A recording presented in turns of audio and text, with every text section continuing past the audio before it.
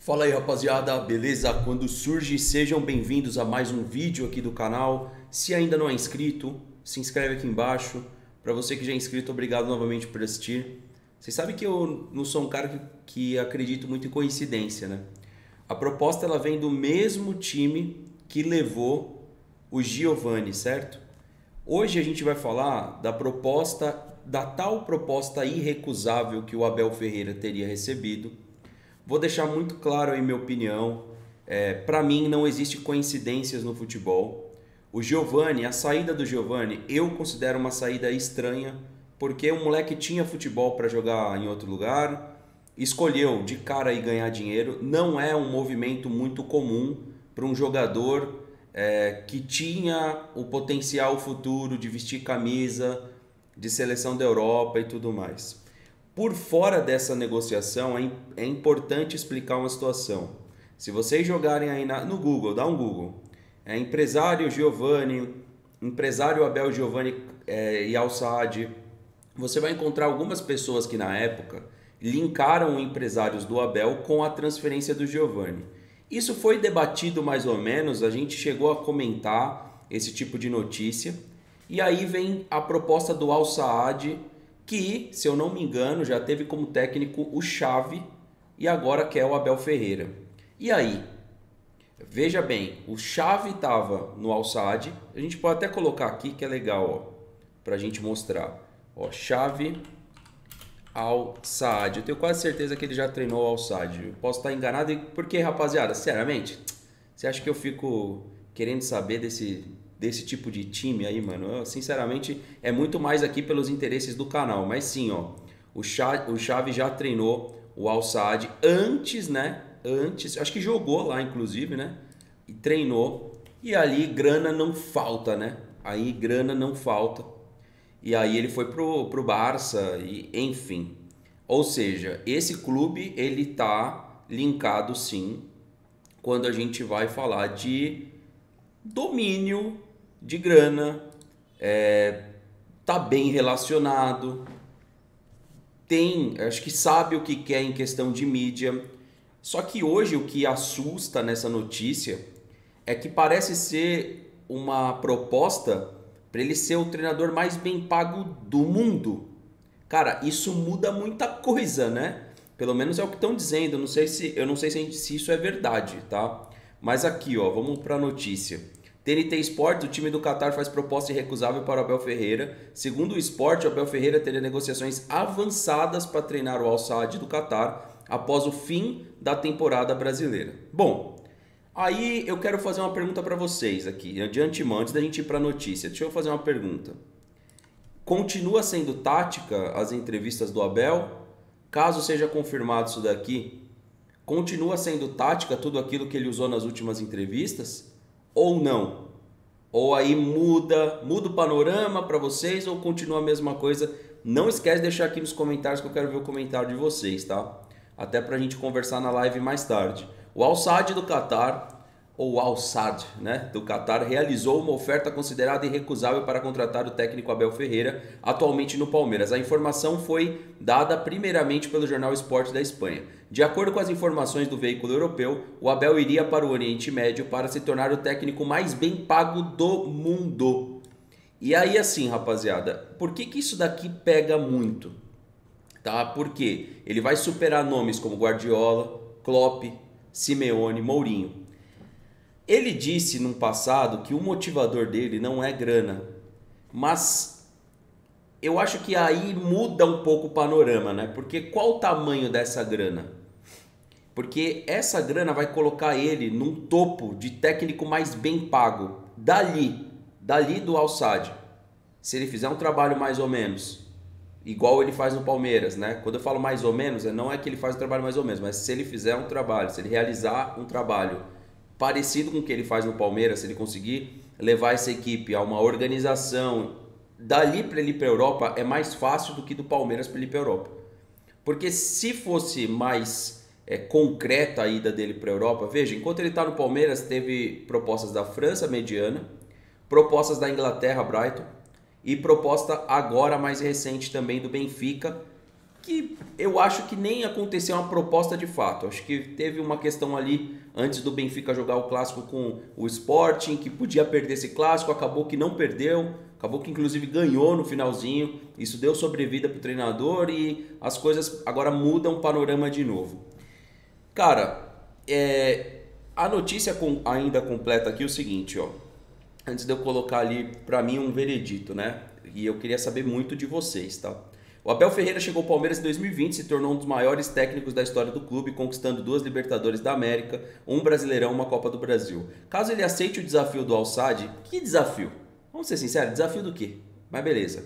Ele treinaria o atual líder do campeonato local com 19 pontos ganhos, que tem em seu elenco os brasileiros Paulo Otávio, ex-Wolfsburg, Guilherme, ex-Corinthians e Giovanni, ex-Palmeiras. Recentemente, Xavi Hernandes, atual treinador do Barcelona, treinou a equipe. Bom, vamos lá, pessoal. Primeiro, desafio desportivo não tem nenhum. Nenhum.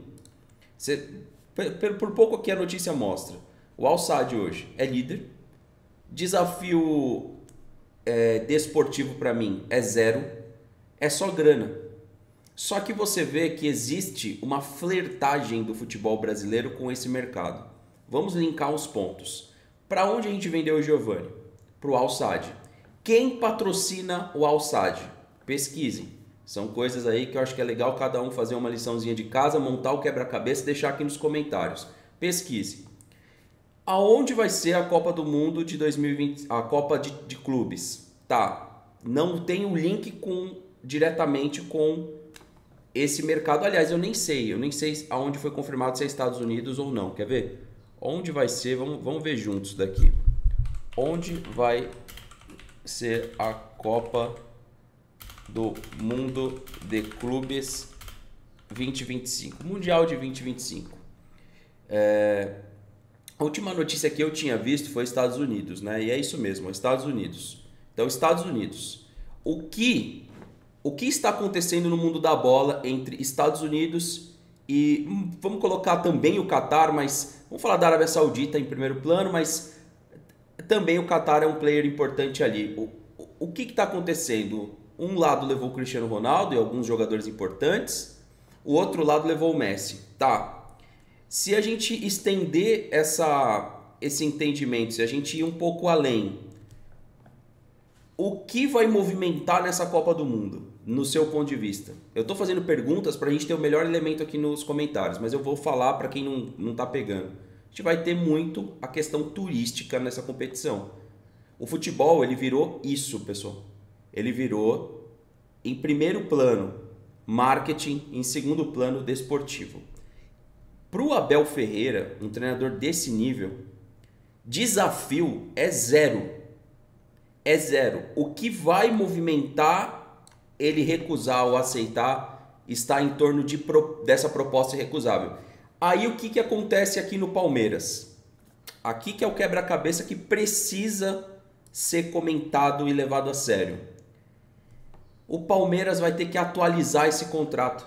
Você percebe que a proposta ela vem no momento chave para que se o Palmeiras, como é que o Palmeiras vai ficar nesse negócio?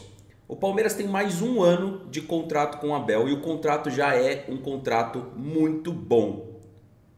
O Palmeiras vai se sentir na obrigação agora de peraí, Abel, vamos entender o que está acontecendo. Tem uma proposta avançada? Tem uma negociação avançada? Que é o que dizem? Eu acho que não, tá? Negociação avançada eu acho que não, mas vamos imaginar que tenha. Para o Palmeiras convencer o Abel de ficar, é mais um caminhãozinho de dinheiro que para o Palmeiras não tem como brigar com o Qatar mas, mas, eu queria falar uma situação sobre a Leila. A Leila pode dar um checkmate aqui importante para a imagem dela. Para a imagem dela. Escreve o que eu estou falando, ninguém falou disso. Ela pode bancar esse salário para o Abel Ferreira e ser colocada como marketing jamais visto no futebol brasileiro. Você imagina se a Leila coloca na mesa uma proposta para o Abel você tem esse salário do Palmeiras e eu, como Leila, estou bancando esse salário para você. Notícias do mundo inteiro vai falar sobre a Leila Pereira. Então, esse é um ponto. Primeiro ponto. Guarda essa informação, tá? Ou seja, quem patrocina lá o SAD? O que, que a Leila colocou no Palmeiras aí? O que, que sobrevoou em volta do Palmeiras? Então, imagina se essa empresa vem eu vou bancar o Abel, eu vou bancar essa comissão porque eu quero. Anota isso. A terceira questão, essa é uma provável e a outra questão que é a principal.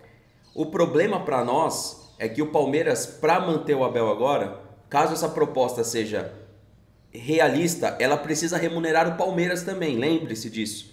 O Abel tem contrato com o Palmeiras. Como que ele vai se desvincular? O Palmeiras precisa ser recompensado. Então, para isso se tornar verdade no Palmeiras, precisa ter um contato do Alçade com o clube que é o Palmeiras para poder retirar o Abel. Então, estou tentando explicar todas as frentes. Caso aconteça esse contato, caso o Abel notifique o Palmeiras ou o clube, né, que vai ter que notificar do interesse, aí o Palmeiras vai ter que bancar essa proposta para o Abel ficar.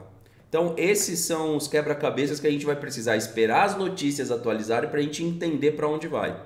Eu acredito mais nessa teoria menos provável da Leila se colocar no mercado como a tal bilionária que bancou o treinador mais caro do mundo. Escreve o que eu estou falando. Se isso não acontecer, aí pode ser realmente a visão mais simplista. O Abel vai ter o maior salário e vai deixar o Palmeiras. Eu acho difícil essa eu acho muito essa simplista não me parece ser o caminho. O caminho parece estar nas outras duas frentes. Lembre-se, tá? A gente está postando essa, essa questão aqui. Veja se alguém falou disso. Pega agora, pega todas as análises agora, vê se alguém falou disso. Você está vendo aqui novamente, tá? Coloco para vocês, você está vendo aqui em primeira mão de novo. E se acontecer, você vem aqui nos comentários e me conta. É uma leitura, porque você precisa olhar a situação de uma forma mais macro, né? De uma hora para outra, uma equipe do Qatar faz essa proposta, quem patrocina, qual que é o jogo por trás disso tudo, qual que é o domínio por trás disso tudo? Qual? Qual que é o interesse? Qual que é o desafio? Vocês realmente acham que o Al Sadd tem um desafio desportivo? Não é, não é desportivo, é marketing.